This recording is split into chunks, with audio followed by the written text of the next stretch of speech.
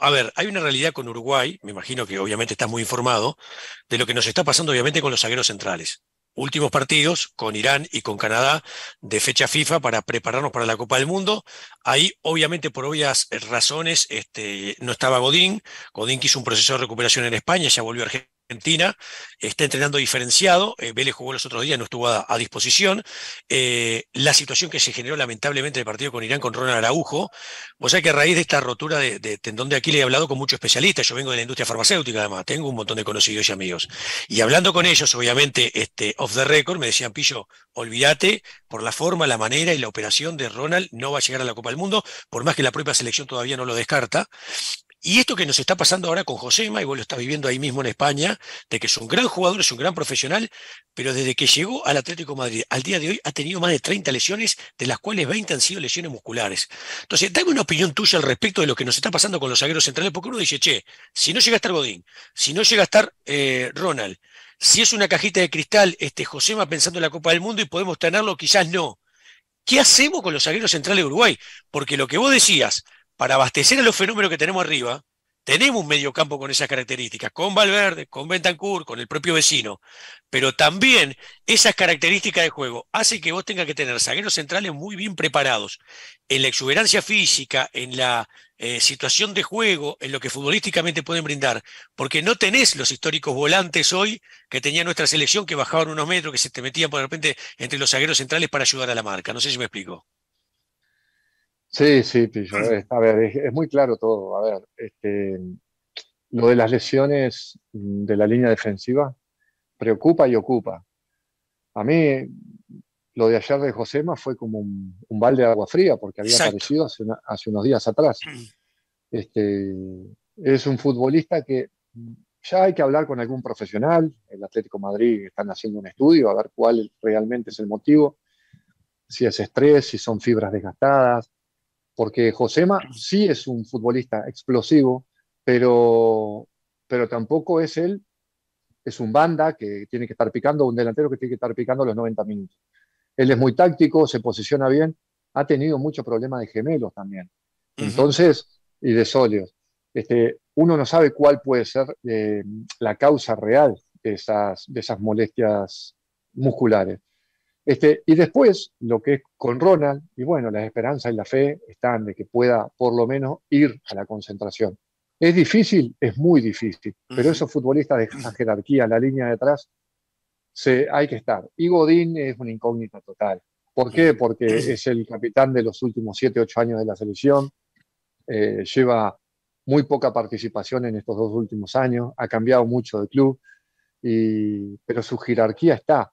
Ahora, no podés llevar un futbolista o no podés contar con un futbolista que, lleve tantísimo tiempo sin jugar. Exacto. Porque, porque, Diego Alonso tiene defensa a quien echar mano. La jerarquía de Josema, de Ronald Araujo y de Godín es muy difícil que la encuentren otro futbolista. Pero está el apartado físico. Cuando vos tenés un medio campo, una línea de medio, que se dedican a la distribución, a darle criterio al juego, y, no tienen la especialidad de hacer las coberturas, los relevos y, el blocaje defensivo como, como cualquier medio defensivo, eh, tiene que tener una línea agresiva, una línea que vaya bien por arriba, una línea que rompa detrás de los volantes centrales, porque esa distancia que hay entre los volantes centrales y la línea defensiva, en el fútbol actual cada vez los equipos juegan más cortos, juegan en 20-25 metros, entre el último defensa y el delantero.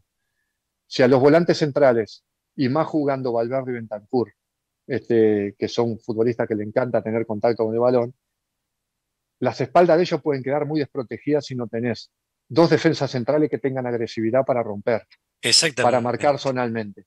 Entonces, a raíz de eso, Diego, que es muy inteligente, es un pedazo de entrenador, tiene que decir, bueno, ¿cómo armo? ¿Cómo sustento mi defensa si quiero jugar con Valverde y Bentancur? Después puedes cambiar el sistema y jugar con tres en el medio, poner un, perro de presa como vecino, como, como Torreira, con dos interiores. Pero me preguntás a mí, a mí me gusta más el Uruguay del 4-4-2, el 4-2-3-1, que el, del 4-3-3. Porque para mí los equipos se arman de atrás para adelante.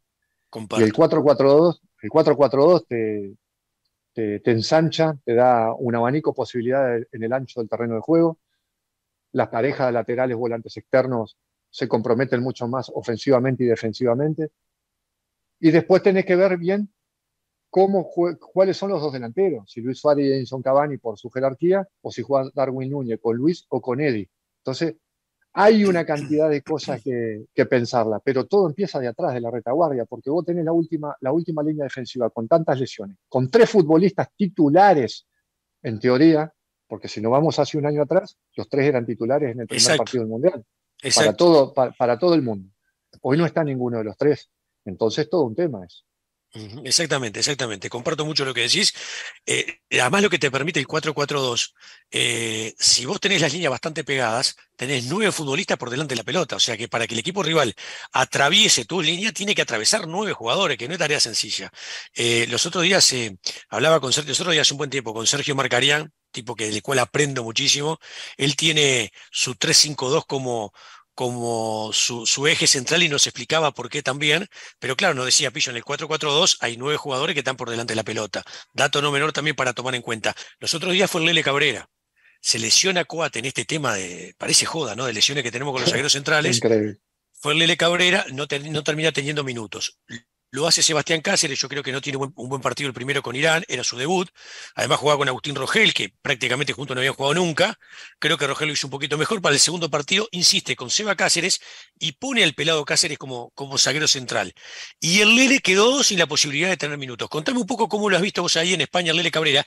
Y si por ahí vos entendés que en el fútbol español hay algún uruguayo con determinadas características que quizás hoy nosotros de acá no estamos viendo con el radar necesario, que pudiera darle una mano a esta situación, yo digo, de una luz roja de alarma muy fuerte que tenemos en la zona de zaguero central de nuestra selección a pocos días del Mundial. Mira, Pillo, este, el tema, bueno, el tema de las lesiones ya es recurrente. Lo de Coate me hiciste acordar también. Para mí es un pedazo de zaguero que, viene rindiendo a gran nivel, capitán del Sporting eh, hace años siempre rinde cada vez que le tocó actuar en la selección. Eh, y de acá te puedo hablar de, Lele Cabrera, para mí es una garantía. Una garantía, Lele Cabrera. Para mí es una garantía, porque llevar en línea ascendente y estable en la Liga Española por cuatro o cinco temporadas, si, no mal recuerdo, eh, él se ha enfrentado a, grandes, a grandes eh, delanteros, un futbolista corpulento, te gana las dos áreas, rompe, eh, tiene, tiene zancada larga, muy buenas coberturas y permutas, pero yo lo que más miro en un, delantero es que, no tenga miedo de romper detrás de los volantes centrales. Cuando hay un media punta o hay un, delantero que, te quiere jugar entre líneas, que se desprende de la, de la línea defensiva rival, que lo apriete, que lo apriete porque si lo dejas dar vuelta al delantero detrás del, medio defensivo, adiós, es prácticamente un gol. Y Lele Cabrera tiene esa característica.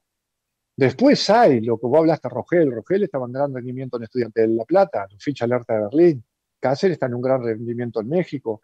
Eh, es lógico que el funcionamiento no se ve de un día para otro. También es peligroso poner una, pareja de centrales que quizás no se conozcan mucho. Este, ¿Por qué? Porque las sociedades en el fútbol, en, en el terreno de juego, tienen prácticamente que dormir en la misma habitación lateral volante, los dos medios, los dos defensas centrales, los dos delanteros. Porque es la manera de comunicación que tienen, ganar tiempo, ganar tiempo, administrar el tiempo de contacto. Pero hay, hay, hay, hay alternativas. Pero la jerarquía es jerarquía. Así que me hablabas del pelado Cáceres. Yo para mí el único puesto que hoy puede dar una mano al pelado Cáceres es de defensa central. Ajá, bien. porque de lateral a él lo han usado, él es voluntarioso, eh, pero ya no es el pelado Cáceres de vuelta que era antes con, sus locuras de joven. Él ahora te puede dar agresividad, te puede dar eh, entusiasmo, te puede dar eh, romper, como te digo, detrás de los medios. Pero para mí el, lugar óptimo para, para Martín Cáceres hoy en la selección, en caso de que no estén los titulares, es de defensa central. Está muy bien. Eh, si, si, vos fueras el técnico de la selección, ¿considerarías la posibilidad concreta con esta realidad que estamos viviendo crítica en lo, en lo físico y las lesiones del Lele Cabrera para la Copa del Mundo? Sí, claro. Sí, sí, pero sin lugar a dudas, porque, a ver, yo lo estoy viendo todos los fines de semana. Este, rendir en el equipo es diferente a la, selección. A la selección. pero tampoco me gusta meterme en el trabajo de Diego. Porque, no, no, está bien, está bien. Porque yo lo, lo, que veo, todo lo que hablo es objetivamente lo que ven mis ojos en la Liga Española. Eh, a mí me gusta como central, eso es, un secreto a voces, pero lo que pasa es que, que, el entrenador quizás quiere algunos otros movimientos tácticos o alguna otra característica. Quizás quiere un central más bajo y uno más alto, antes que tener dos altos. No sé, en fin, este, yo quiero creer, me, gusta creer y, creo en esta selección. La última, Gaucho, vos sabés que es una opinión personal, no se tiene por qué compartir. Yo digo que después de eh, Valverde Bentancur, quizás el tema del arco también es importante, eh, el jugador más importante que tenía la selección era Ronald Araujo. ¿Por qué? Primero por su exuberancia física, después por su intensidad, Después porque se termina transformando como una especie de atleta, porque te corría toda la, banda y le daba una solución en el lateral de la derecha al Tornado Alonso, cuando al, principio no estábamos muy convencidos si lo iba a hacer o no, y lo hizo muy bien. Después por la altura, ganando en área propia y en área ajena. Eh, estoy más o menos centrado, eh, compartís esta opinión de todas las cosas que nos daba Ronald Araujo, que si no lo tenemos, por más que hagamos un cambio ahí, no, no vamos a tener todas esas prestaciones en un futbolista de la selección. Totalmente, totalmente de acuerdo. A ver, Ronald Araujo te daba lo que te daba Alberto y Bentancur en el mediocampo. Esa, esa corta edad, ese nombre actual de futbolistas que están destacando en Europa. Ronald Araujo en el Barcelona, Valverde en el Real Madrid, Bentancur en el Tottenham. Con lo cual, eso indica mucho, porque vos vas a plantear un partido. Hay tres titulares que están siendo titulares en, en equipos importantes de Europa, jugando competición europea, Champions League, y los rivales a la hora de hacer un análisis de video van a decir, ojo, está este futbolista. Y después otra particularidad, Ronald Araujo, un jugador polivalente, un jugador eh, muy dúctil, que te puede jugar por su condición de atleta, te puede jugar en varias posiciones.